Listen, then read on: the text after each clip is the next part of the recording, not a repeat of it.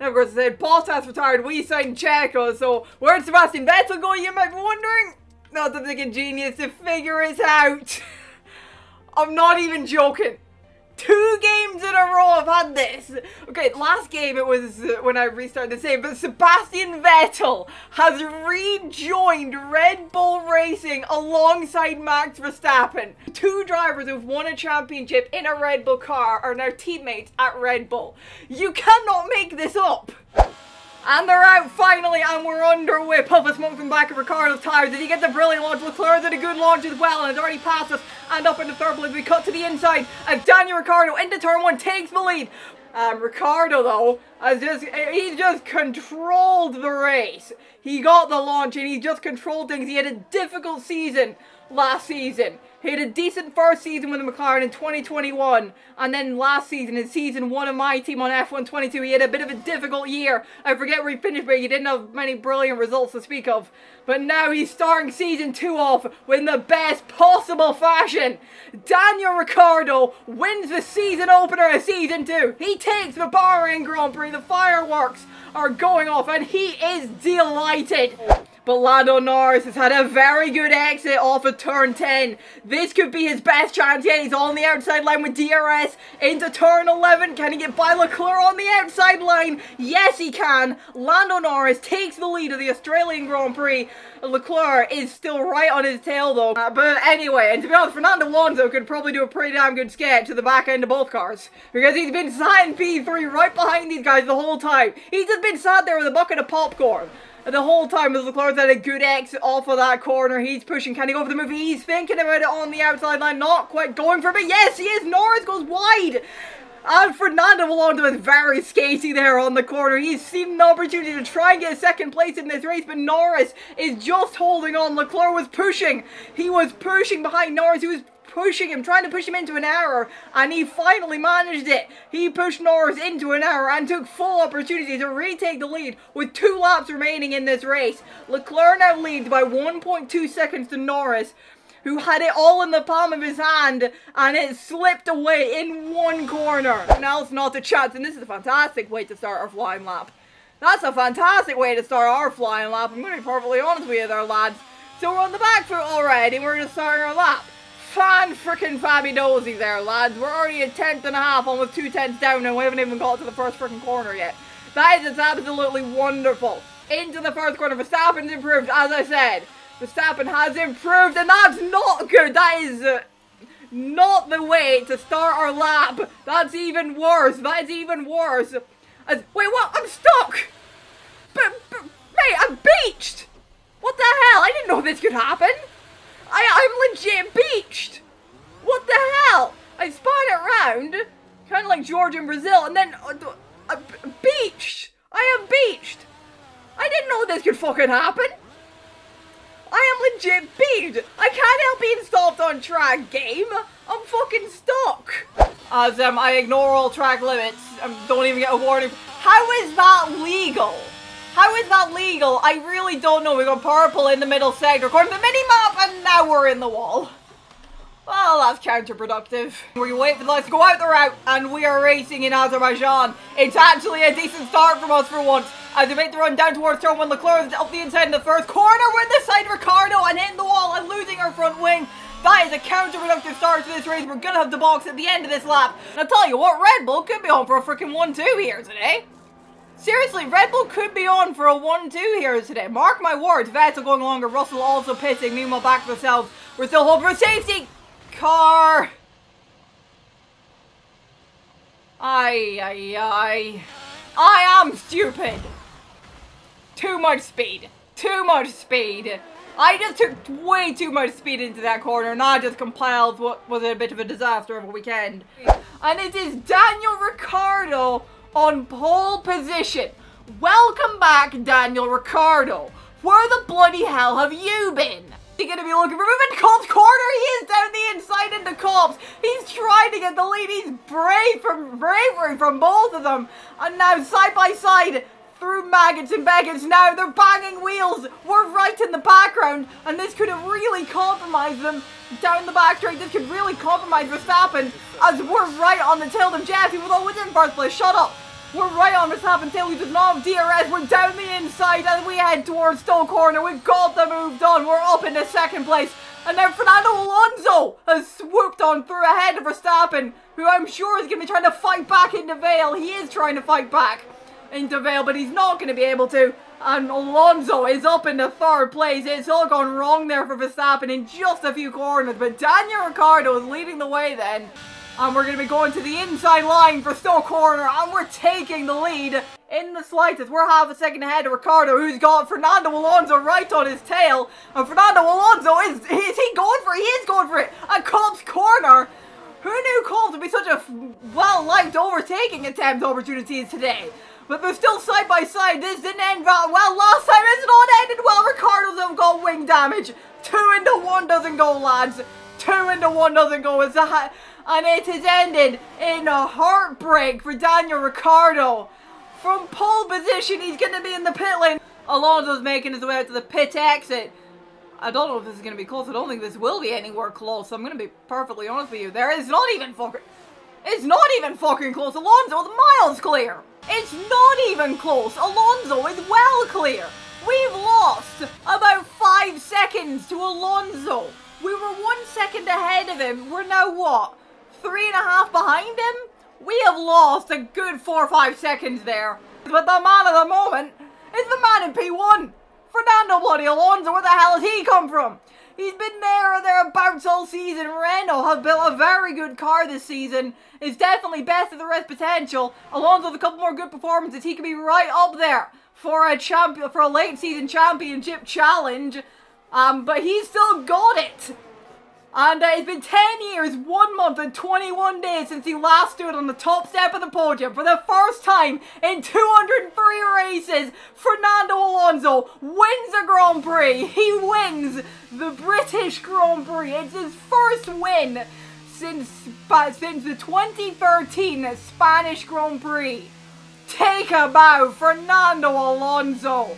Pierre Gasly, the first retirement of this race while his former teammate continues to lead.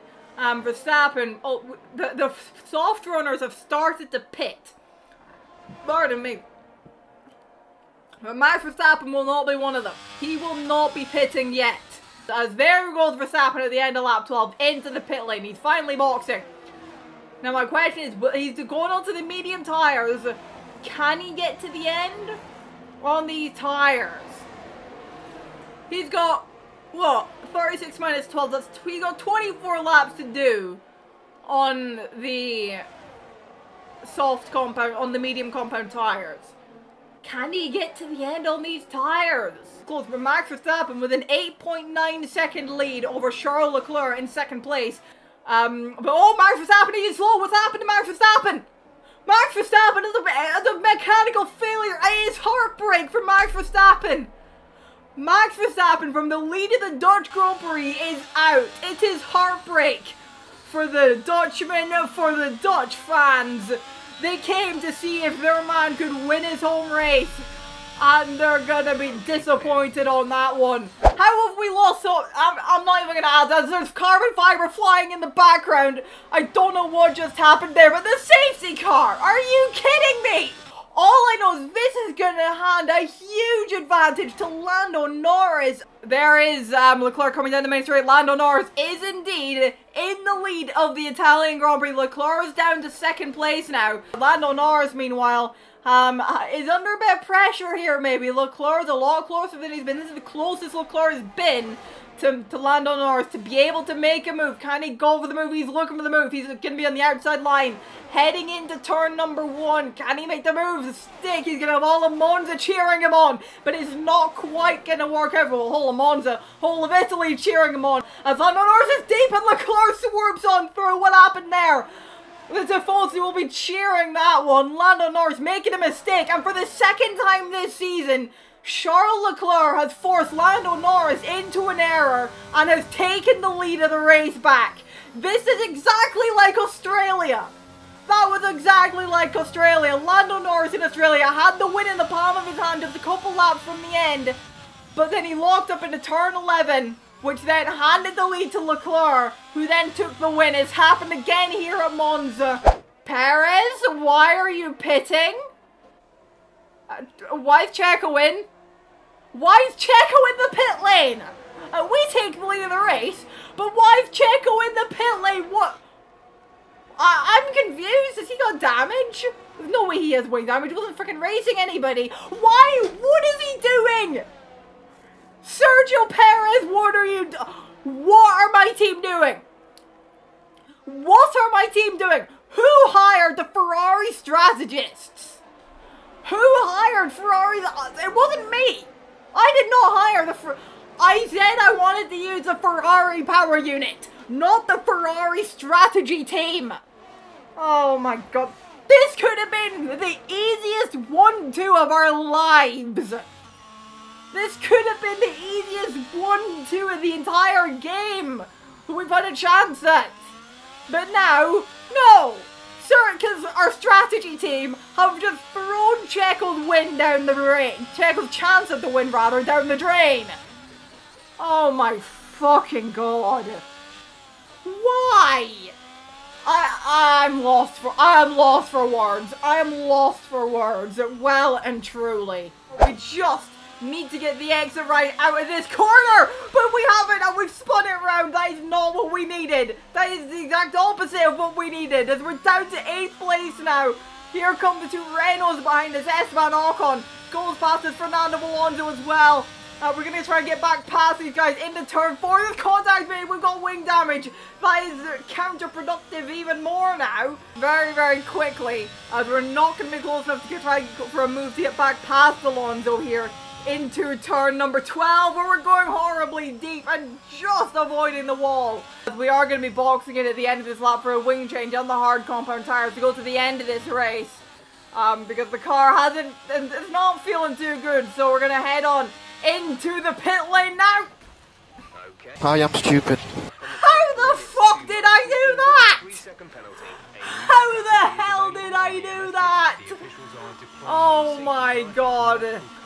How did I do that? Lap 19, we're on here. Uh, oh yeah, that's how I got another 3 second penalty. Um, so it's now 6 seconds of penalties. Absolutely fucking fantastic. No battle. They seem to have an issue. We're close to being able to stay in the top 5. But my god, this could be about to get so much better for us. Vettel ahead of us has an issue. This could be big for us, god damn it could be about to lose third place here as we're up the inside into the corner. There's no contact made as we get by him. And we're into the podium places and now we just have to go as Norris is now checked out a little bit from these guys. Vettel now with Ocon right on his tail as but not quite able to go for the move. Norris has lost it. He's off. He's stopped there. I, I I'm gonna be honest. I don't know what happened there. I, I forgot to look. But Norris losing it there. Okay then. That is bad for Lando Norris, but brilliant for us.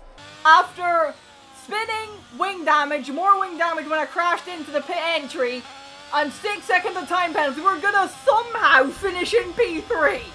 That well, um, as I see front wings flying in the background, Lewis Hamilton, he's definitely not getting those tires to the end because he hasn't got a freaking front wing. And the safety car is now out. Well, Bangle's my medium soft idea. Seems like it's going to be a medium hard strategy after all. Um, oh, but Checo! He said something! Checo said something, I wasn't looking at the screen. What's happened to Checo here? I completely missed that. What happened? Sergio Perez, our teammates, out of the Brazilian Grand Prix. And that has brought the safety car back out. I was looking at the standings on my other monitor. He's still on the inside. Well, he's on the outside now. And he's just pulling ahead of Checo um, who has the same thing Hamilton did. It's the same thing Hamilton did, but this time it's clearly come, come off a lot worse for Checo. Clearly broken suspension, drive shaft, or something like that. No steering or something.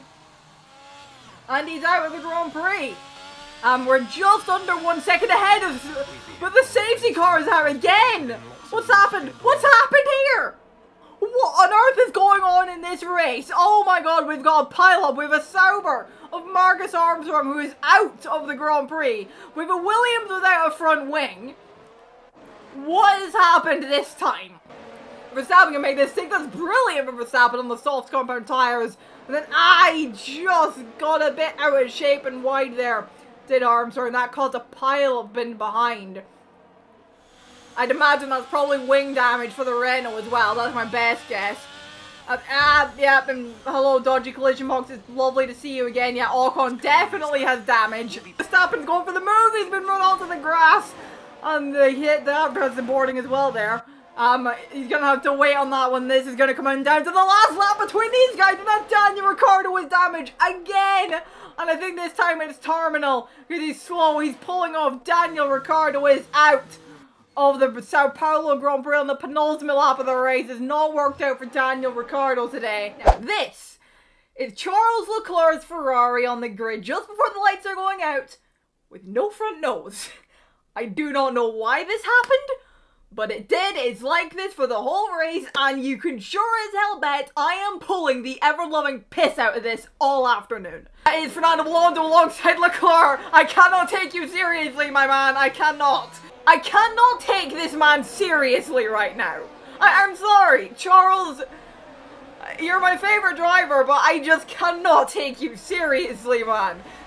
Ferrari have gone for the lightweight extra low downforce setup today, it seems. In that the, the front wing, in, the front wing isn't even on a low setting. It ain't even fucking there. Leclerc's coming up hot on their heels as well, only one second behind these two.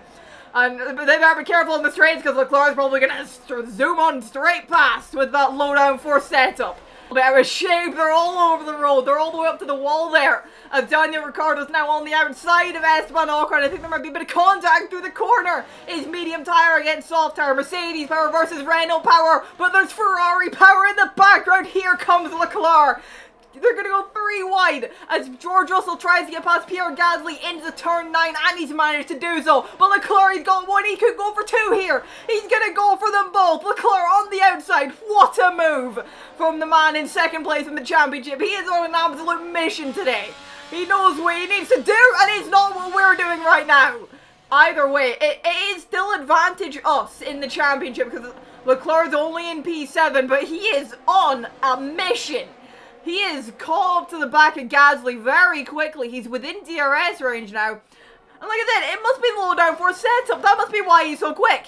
Pardon me, low downforce setup, but there's enough downforce to keep him plant, keep it planted, so he can keep it planted when he's going around the outside at turn 9 at two cars.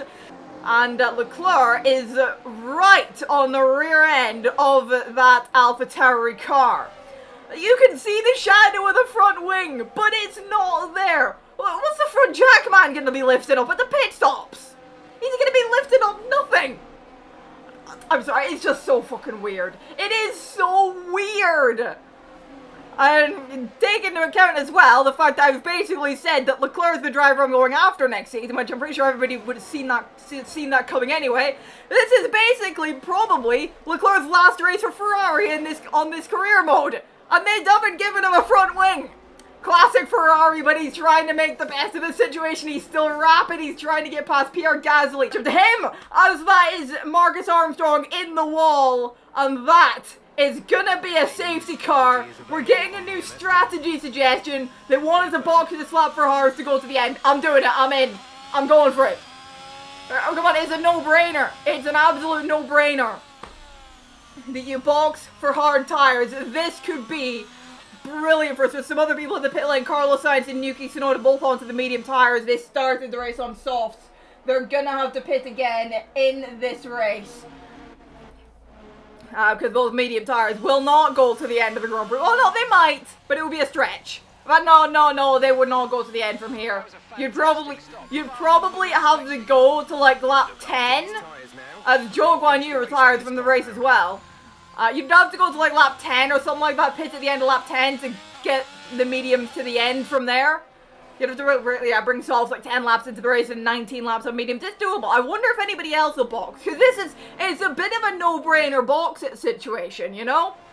Uh, it's a bit of a no-brainer. Uh, but we'll see if the AI think that.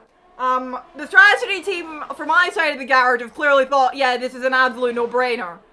Are they going to think that with Checo? Are they gonna box Checo? Is Checo gonna... If Checo boxes, then I owe my strategy team an apology. I owe them an apology if he boxes. Norris does not. He continues on. Max Verstappen also continuing on, but Checo's in! Oh, please tell me he's going onto the hard tires. If Checo's going onto the hard compound tires, then I think I might owe the strategy department a huge apology. Because this could be a hell of a strategy call from our strategy department. And it is hard. Sergio Perez boxing onto hard compound tires. He can go to the end of the Grand Prix on those.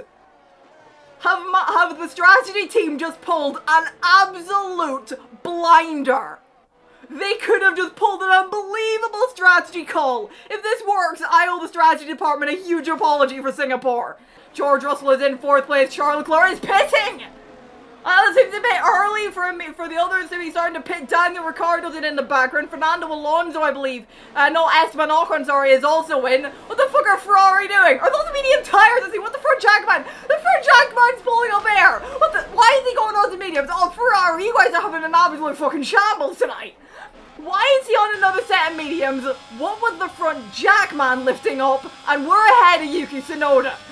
The front jackman was lifting up air. He was lifting up nothing. Absolutely nothing. Kevin Magnussen back there as we've screwed it up again in turn 9. Luckily no damage, but we have hit the barrier. That has not gone very well for us. And now, the car behind us is our rival, Charles Leclerc. Both of us are having an absolute fucking shambles today. The only benefit for us is we can go to the end. Leclerc has the box again. And it was quite possibly his final race for Ferrari, at least for now in this career mode. Uh, we'll see what happens for season four. Um, whether I keep Leclerc for well, this could possibly be his last race for Ferrari. Um, they've not given him a front nose, and they've put him on a stupid two-stop. And you have to bear in mind, Lando Norris was not that far behind him as well in the championship. So this could cause this could potentially cost him second in the championship as well. As they're all getting into contact, we're going to try and take advantage and get past Lance Stroll. And you may have seen in the rear wing mirror there, it's not even just on the replay. It's on this onboard as well. Leclerc still doesn't have a freaking front wing. Magnussen and Leclerc both dive it for the pit lane.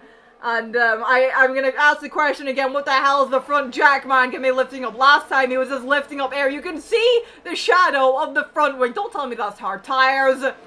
Jesus Christ, Ferrari. Fuck's sake, man. They're doing the same strategy that Perez did in freaking Singapore. Jesus. What are Ferrari doing?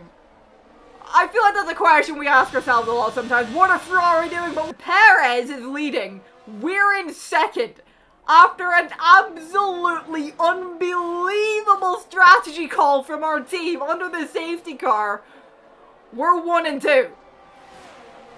I apologize to the strategy department for Singapore.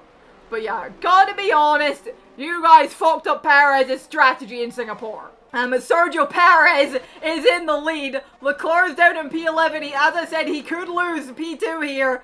Wonder how much of that is going to be down to his team for getting the front wing. But Sergio Perez, our, in his final race, is our teammate. Out the final corner after a brilliant strategy call, wins the Abu Dhabi Grand Prix for our team. But we're going to come through behind him in second place here.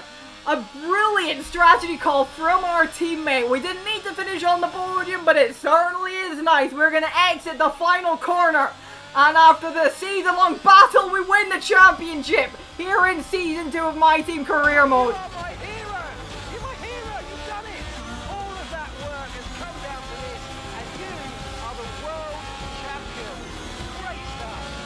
Thank you very much, Elvis. I didn't I expected to hear Jet.